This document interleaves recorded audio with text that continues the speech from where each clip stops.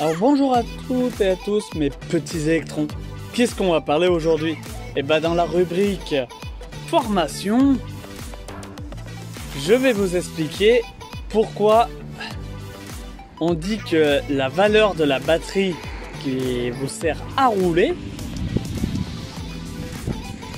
eh ben, n'est pas celle qu'on vous annonce.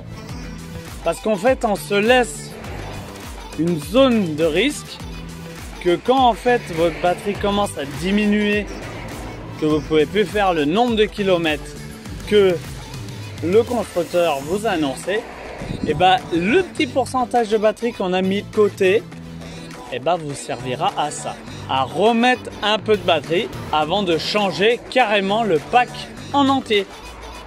Et oui, parce qu'ils vont pas vous le changer de suite votre pack.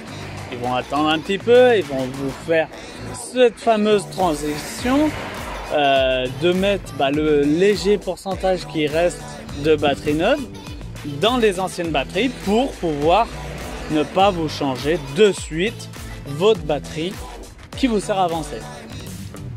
Dans un sens, c'est pas mal, mais dans un autre, c'est un pourcentage que vous ne pouvez pas utiliser. Et je trouve ça très dommage.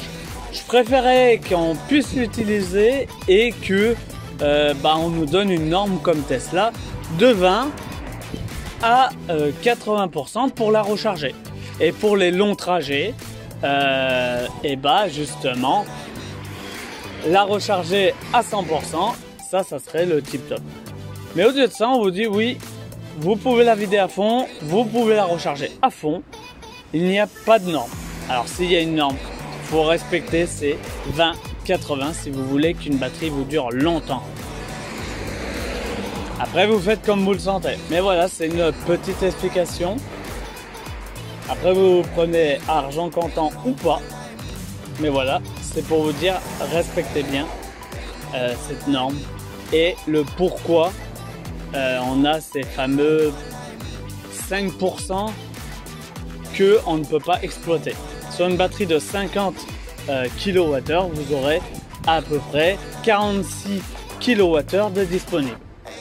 C'est pour ça qu'on fait moins qu'une Zoé avec une e-Corsa. Mais on consomme moins en énergie. Mais le problème, c'est qu'on est à 46 au lieu de 50. Donc voilà. C'était la petite explication pour la batterie qui vous sert à avancer. Donc la batterie de traction. Et moi je vous dis à très bientôt sur Je vis en mode électrique pour des nouvelles explications. Et surtout, n'hésitez pas à vous abonner, à mettre un gros pouce bleu, à mettre des commentaires si vous en avez, parce que je ne sais pas tout non plus. Et surtout, à faire scintiller la cloche noire bien fort